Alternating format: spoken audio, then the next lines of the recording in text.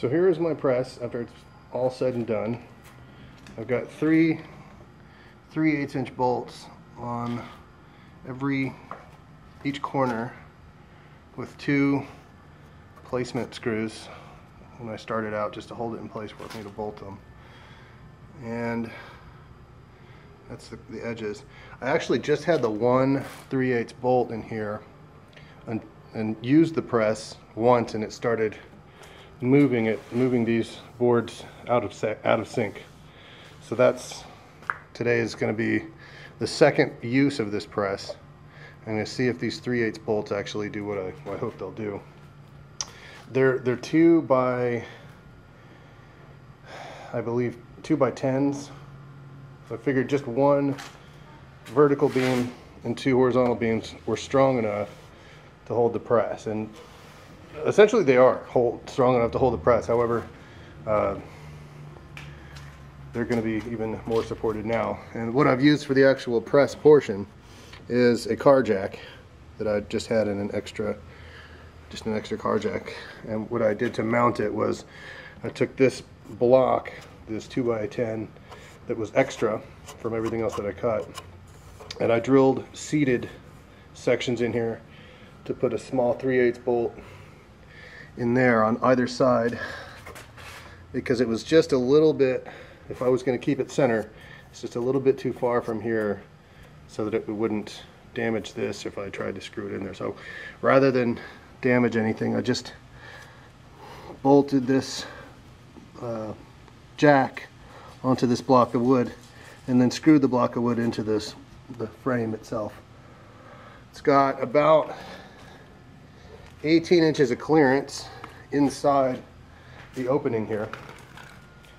18 inches vertically and that's enough to supply several layers of, of pressing compounds. And I also have these one by threes um, mounted to the, the base. Each of them are about 20 inches long and uh, only about half of them are actually bolted down and these are taken out in, uh, in the event that I have just a, a regular screen or something like that that I want to press right through. But they're fine if they're unbolted as long as these other, every other one is bolted like that. All right, so here I have a metal tray uh, and before I press anything through this, I'm gonna want to wash it. But what I've done is I, I bought it, it was just wide enough to fit in here. And as the underside of these boards go, this one's cut out just enough to where that guy will be able to drain straight through and not get all over the place here. And it actually does drain straight down pretty pretty well instead of splattering all over the place. That sits there at the base and then I've taken a plastic Coca-Cola container, like a, carrier, a carrying case, and I've several of those, four of those, and I've cut the screens out of the bottom of them. And these screens will go underneath the first set of fabric, and we'll set this fabric on here. We'll set the the the mash in here, and then I'll set another screen on top, and then I'll set another mash in here, and then the third screen, and then this block will separate what's being pressed from the actual jack. As it pushes it down, squeeze all that juice out, it'll drain from here and it'll fall into this long bin that I've got. Now that'll sit on the ground. So as the juice gets, as the juice squeezes from this area here, this is going to sit underneath of it and we can actually lean the machine forward, lean the, the press forward. All of this stuff is going to be pressed down, so it's not going to go anywhere. And the benefit to leaning it forward like this is that all that juice in the back that just kind of sits behind with the fabric will, will force all the, all the other juice underneath it to flow forward. And as this comes forward and back, the stream also comes forward and back, so you can't just set a bucket down there because uh, it'll, it'll push on the bucket and move it and if that spills, obviously you're gonna have a problem. So this is nice and low to the ground. It's got splash boards on either side. You can put it this way, or you can turn it parallel to the, the press. I'm also to put an O-ring here so that it can attach to a chain and you can just leave it in the leaned forward position and let it sit there and drain out for half an hour to an hour uh, without anybody attending, attending to it.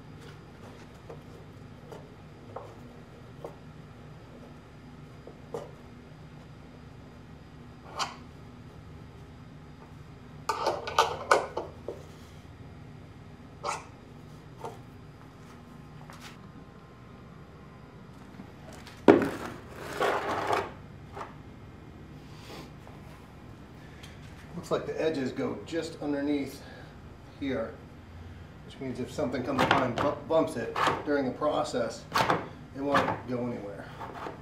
Another little, neat little added notion of security there. Now, normally you'd want to put blocks behind on either side so when it's leaning forward and it's weighted on the string here, it won't slide that way and I can uh, put a, a brick behind there.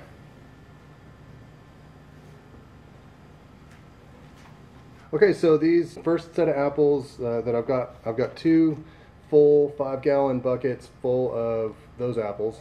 Those are just wild apples. I picked those right on the campus where I work.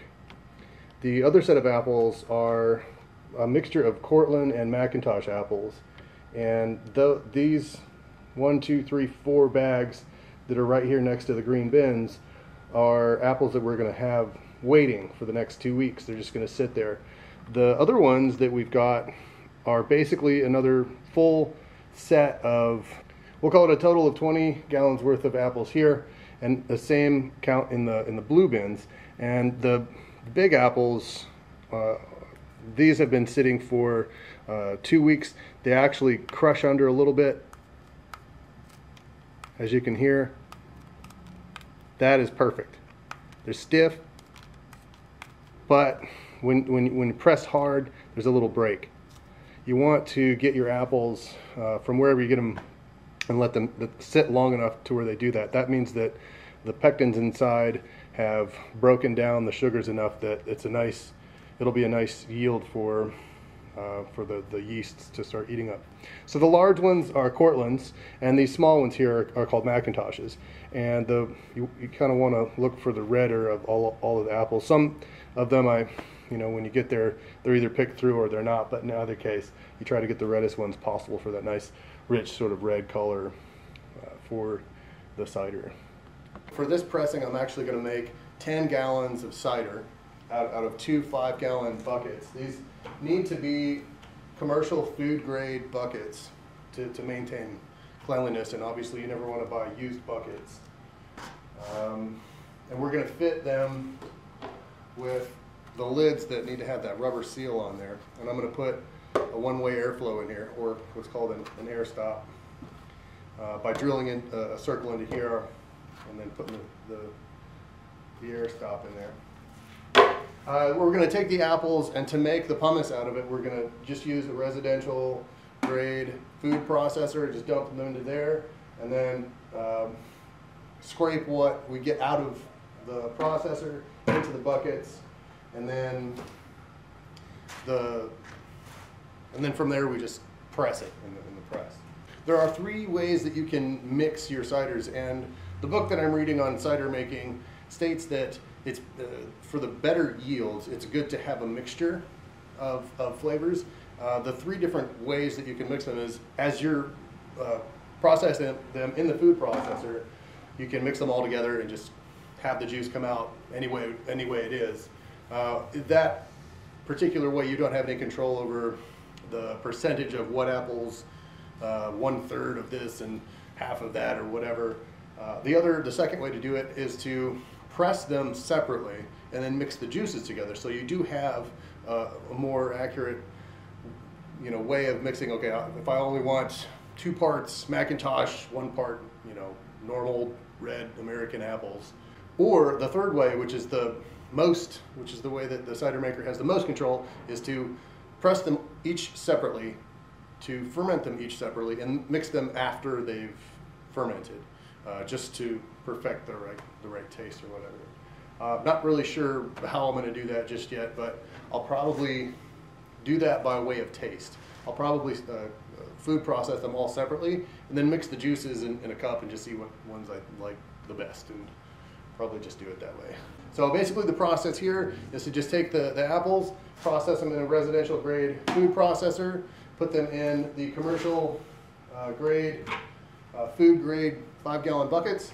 Then we're gonna put the airlock on the lid and the lid with the nice rubber seal is gonna lock down onto that and it's basically just gonna sit in my garden room and provide CO2 for the plants for the next three to four weeks. Cider doesn't really take that long, so three to four weeks of fermenting will start kicking that CO2 into the, into the air.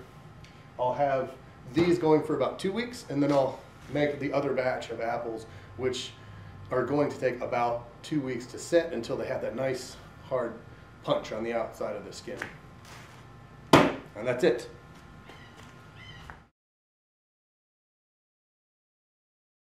All right, so here we have our apples that are about to be cut. And you can take your core and you can put it in your little compost bag. Apples make really, really great uh, fuel for compost. All right, so what do you want to do when you've got your apples uh, is to, you don't have to thoroughly inspect each one, but looking on the outside, seeing stuff like this, it looks like it's just a sort of a surface blemish.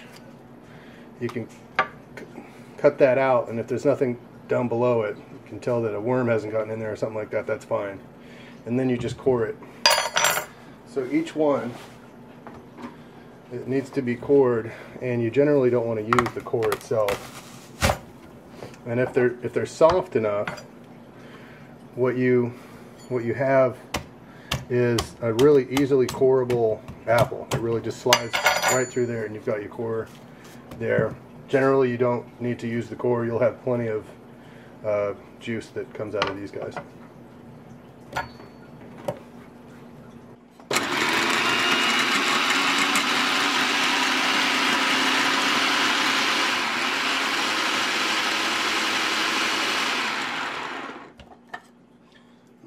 this thing looks like it's turning it into soup. But even then it'll still be okay. And once that's good, we'll pop this guy off.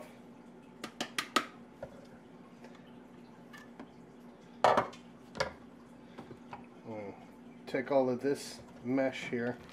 This is called the pomace.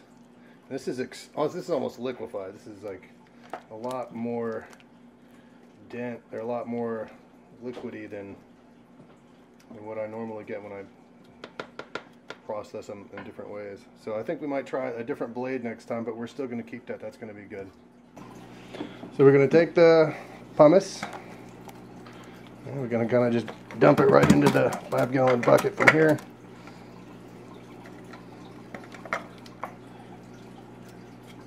Making sure we get all that good stuff in there.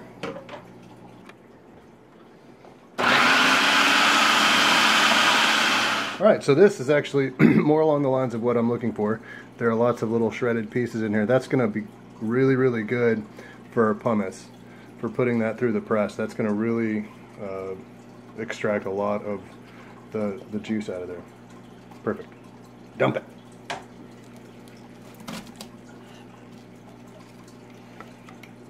The, uh, this, the stuff on top is definitely more uh, white, it's got more of the, the pith, and the stuff on the bottom is uh, has got a lot of the. It's been oxidated while it's been sitting there, so it's oxidized a little bit. However, it's just got a little more of the rind, a little more of the peel in there, so that looks a lot better. Okay, so at this point, I'm ready to press the pomace into juice, and the juice is going to be collected down here, as I've said. Uh, but in preparation for this, I've, I've done two things based on the last time that I, I did this, I've added these inserts here that will add stability to the metal tray. And the reason that I'm adding them this time and didn't do it last time is because, as you can see, it probably it bent into it when I did not have those extra pieces there. There's, a, there's another there's another benefit, and that's that it's lighter and it'll it'll carry a little easier without those extra planks, but that may not make that much of a difference. In any case, I've made sure that all of my instruments are clean. I just washed this out. It's nice and clean. Uh, another thing that I learned from the last time is that I need a towel handy. And that's more or less just to, to put it down below and beside this because eventually you're just going to make it spill. As tidy and neat as you make the process and as prepared as you can possibly be for it, you're still going to spill some things. Another thing is to get one of these, a little hand towel. A little hand towel just kind of wipes stuff that it spills on. If you do that quick enough, the point of, of keeping it clean, it's, it's obviously uh, good to keep it sanitary, but probably the, the best, most important thing is that you keep flies out. And the flies that, like the, the fruit flies and things that smell that stuff will come in the, the quickest of all of the flies. So keeping that in mind, uh, that's gonna, uh, gonna uh, be what you wanna do. So uh, without further ado, let's start doing this. So put my first rack down and I'm gonna put my towel down here. I had uh, two 30 gallon green Sterilite uh, bins up about halfway with apples and that yielded two jugs, uh, two five gallon jugs of pomace. It's actually uh, one and a half or so jugs of, of, of five gallon uh, pomace. I'll put that in and, and press it now. All right, so to get it out, you're gonna need a big, uh, I prefer like a stainless steel um, ladle that's not the, the, the soup kind, but like the spoonish kind. It helps with the angle. It's hard to get the, the, the deep spoon in there and get that angle.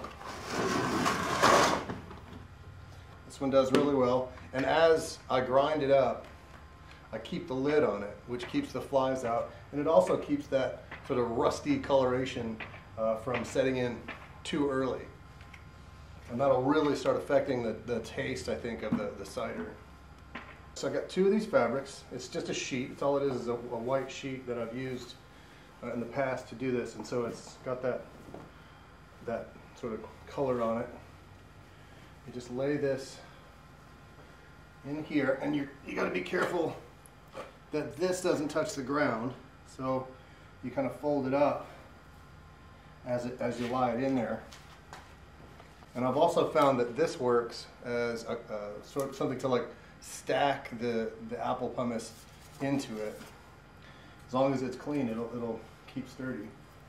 And it'll also help you keep the sheet spread out and pulled as it should be and sort of be able to allow you to be able to fold this over so that it doesn't hit the ground. And you don't want to touch the fabric to the jack because the jack has car grease on it basically from previous use. If at all possible, get a new jack or whatever you're going to use to press it with and even if it's new it's still going to have that grease on it so keep it separate from the, the juice at all costs.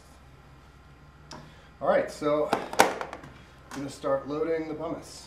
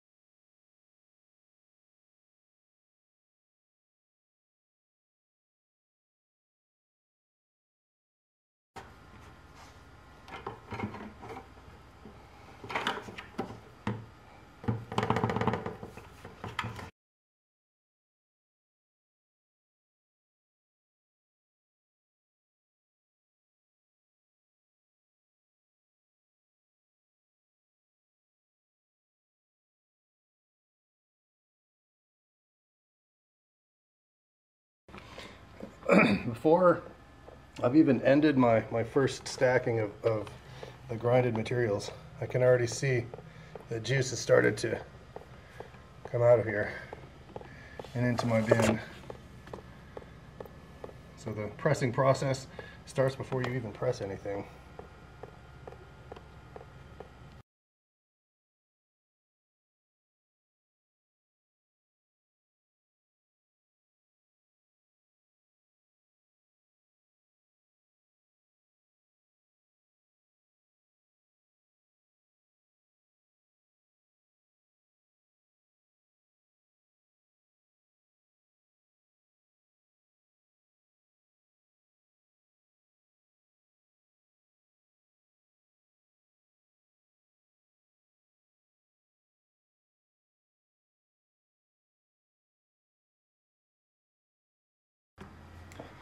All right, so I've finished putting one set of the uh, the grinds, of the pomace that I'm going to put in there, and I've taken my my little bracket out of there.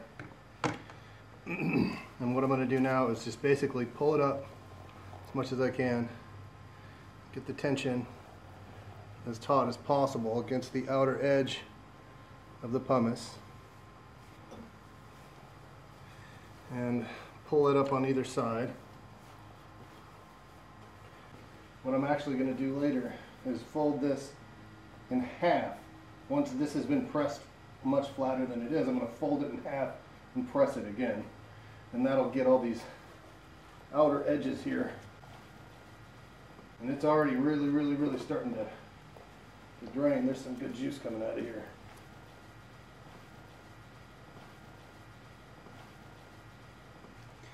I'm going to set that guy right there. All right, so another way you can do it is to put the support on the outside, the square support around the outside, and start filling it up with the fabric that I used as a liner on the inside. And what that'll do is give you a, another option for giving structure to the pile of pomace that you're going to make inside here and give it that uniformity as it starts pressing the pomace. Okay, so now I'm ready to begin the pressing process for my apples. So I'm gonna use this last screen here, and that'll go right here. And this time what I think I'm also gonna do is leave this outer, um, I don't even know what I'm calling it now. I'm gonna leave that surrounding bit there I'm to use this block to drop right between the jack and the press so there's no direct contact. And I actually used it on a certain side last time. And, and it's got the, the oil, the grease from that. So I'm going to keep that away from the, the cider. And I also have this tool here. It's a, I think it's a half inch bolt on a ratchet so it's just gonna it's gonna press the jack from the backside.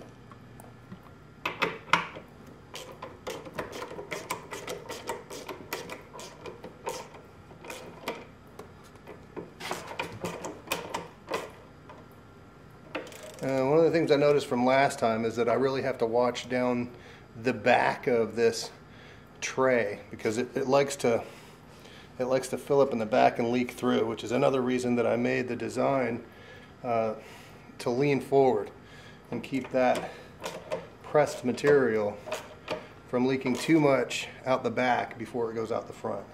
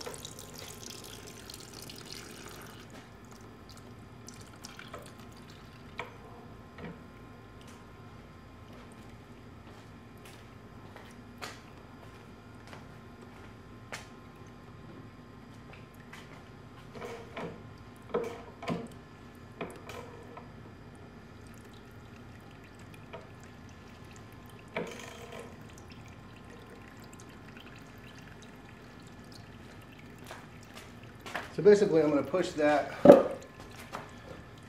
um, a little bit. I'm going to I'm going to crank it, and it'll go down. It'll crank it. It'll go down. Uh, I'm going to but I'm going to do that in sections, like over time. I'm going to let it sit for five minutes, and then I'm going to do it again. It'll overwhelm the sides and spill off the sides if I don't do that. And so, all along the side here, you can see all this splashing has come up. So it's good that I got this bin to save from all that waste on either side of there. That's neat. And what I did here, to allow the, the nozzle, the hole here, to have an opening, I put two shot glasses in between the fabric and the tray, just so it'll give that, it'll, it'll keep the fabric from stopping up that hole. When it's all said and done, when I'm, when I'm pushing down, I'm cranking down on my final little squeezes, then I'm gonna let it set for about an hour and then it'll kick all the rest of that stuff out of there. Then I'll fold them in half and do it again. And that'll be it.